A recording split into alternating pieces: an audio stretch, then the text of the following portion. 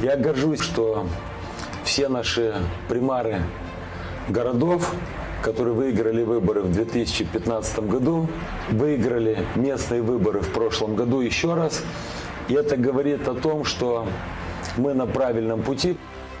Все это получилось благодаря тому, что у меня было желание любыми путями добиться перемен.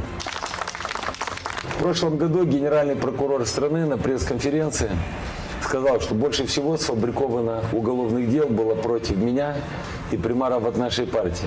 Я иду на выборы как кандидат народа, который претендует на то, что разрушит мафиозно-коррупционную систему, которую у нас создали за 30 лет.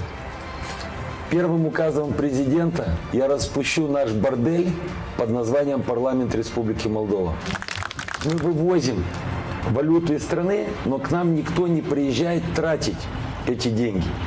Поэтому я хочу, чтобы у нас появился первый туристический проект национального значения Урашу Винулы, город вина. Это должна быть площадка на несколько десятков гектар земли с отелями, спа-салонами, где должны представлены быть все виноделы, от самых маленьких до самых больших. Я обещаю сегодня всем молодым людям в стране, что в администрации президента, правительстве, в парламенте будут созданы молодежные департаменты, что проблемами молодежи занималась молодежь. Я прооперировал несколько сотен детей, помог сотням ветеранам Великой Отечественной войны, спортсменам. Я живу с очень простым девизом всю жизнь. Во-первых, сила в праве.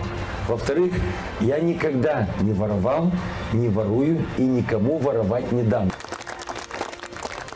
Голосуем за Рената Усатова, кандидата номер один в избирательном бюллетене.